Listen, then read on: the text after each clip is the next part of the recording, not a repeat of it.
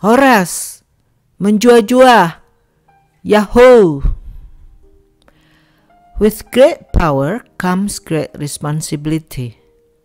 Itulah nasihat yang diberikan Uncle Ben kepada Peter Parker dalam film Spider-Man.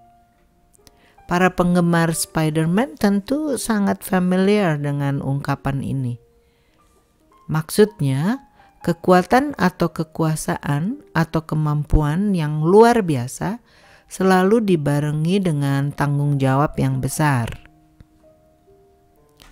Kita mungkin berpikir bahwa nasihat itu hanya berlaku untuk Spider-Man, Superman, atau superhero lainnya yang dianggap memiliki kekuatan yang luar biasa, melebihi kemampuan manusia normal. Kita tidak menyadari bahwa nasihat itu berlaku untuk semua manusia. Bagaimana mungkin? Begitu pertanyaan yang mungkin timbul dalam pikiran Anda. Kita perlu menyadari bahwa ketika kita lahir ke dunia ini, kita dibekali dengan alat atau instrumen yang luar biasa, yaitu otak kita. Otak kita mempunyai kemampuan yang sangat luar biasa yang belum disadari oleh kebanyakan manusia. Saya katakan belum disadari oleh kebanyakan manusia karena sudah banyak juga manusia yang menyadarinya dan mulai memanfaatkan kemampuan otak yang luar biasa itu. Tapi kebanyakan orang masih belum menyadarinya, dan karena itu masih terbelenggu oleh aturan-aturan yang menghalanginya untuk memanfaatkan kemampuan otak yang sangat luar biasa itu. Sebaliknya, orang-orang yang sudah menyadari kemampuan otak yang luar biasa itu tidak terlalu dibatasi oleh aturan-aturan yang tidak kondusif, sehingga dapat memanfaatkannya sepenuhnya. Hasilnya, kita melihat pencapaian yang luar biasa di dalam kehidupan mereka, yang juga berdampak pada semua orang lain di dalam dunia ini. Kita melihat dan mengalami atau menikmati hasil karya mereka yang luar biasa. Bahkan ketika Anda menonton tayangan ini, Anda sedang mengalami dan menikmati sebagian kecil dari hasil karya itu. Sebagian kecil? Ya, sebagian kecil karena masih banyak lagi hasil karya manusia yang sedang atau akan dibuat dalam waktu dekat ini. Berkat otak manusia yang luar biasa itu, sekarang kita bisa terbang tanpa harus berasal dari planet Krypton seperti Superman. Kita bisa menempel dan memanjat dinding tanpa harus digigit laba-laba dulu seperti Spider-Man. Kita bisa berlari sekencang angin tanpa harus disambar petir dulu seperti Gundala. Kita juga bisa bicara dengan teman yang berada setengah planet bumi jaraknya dari kita tanpa menjadi daredevil. Ingat jubah penghilang dalam film Harry Potter?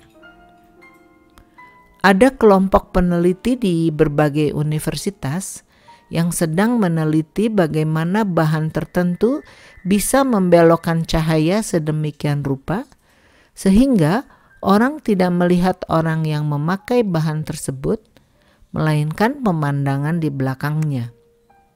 Idenya mirip dengan teknologi stealth yang sudah diterapkan untuk pesawat terbang militer yang bisa menghindari radar.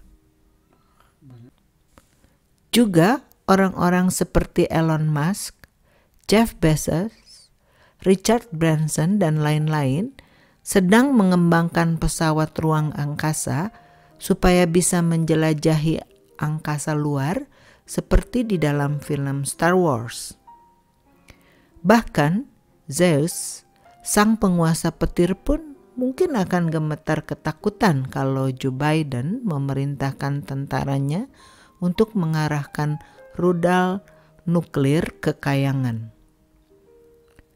dan daftarnya masih banyak dan semakin banyak lagi kemampuan manusia yang sudah dan sedang dikembangkan. Semua karena otak manusia yang luar biasa. Kabar baiknya, pada dasarnya otak manusia di seluruh dunia sama. Secara hakiki, hampir tidak ada bedanya antara otak orang Indonesia dengan orang Israel atau Amerika atau Jerman.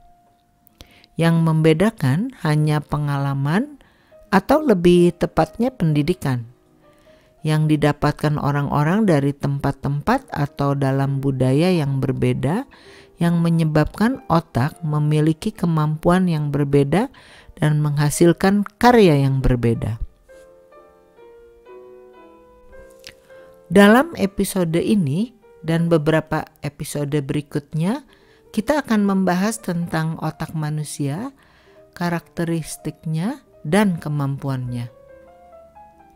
Sebagai pembukaan, kalau dilihat secara selintas, otak manusia tidak memiliki keistimewaan. Kalau dikeluarkan dari kepala orang, itu terlihat seperti seonggok daging putih yang lebih mirip lemak sapi daripada komputer canggih yang membuat manusia punya kemampuan melebihi para superhero yang sudah disebutkan di atas. Sangat tidak mengesankan. Tapi kalau orang sudah mempelajari cara kerja dan kemampuannya, dia tidak bisa tidak akan terkagum-kagum, terpesona olehnya.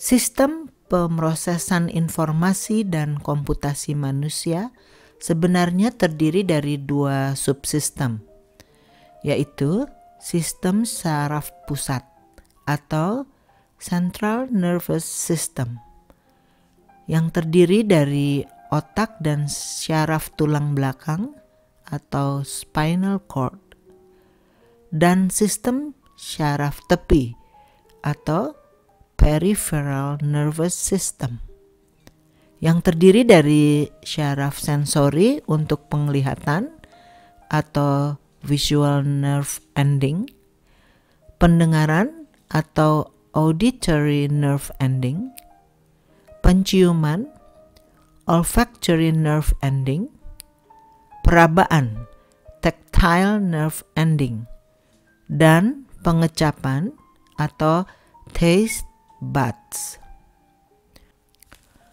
Otak sendiri mengandung kira-kira 100 miliar sel otak yang disebut neuron dan dikelilingi oleh sel glial yang berfungsi seperti perekat yang menstabilkan struktur otak dan melindungi neuron. Dalam episode yang akan datang, kita akan membahas lebih dalam tentang struktur otak ini. Sekian dulu, jangan lupa subscribe ya. Horas, menjua-jua, yahoo!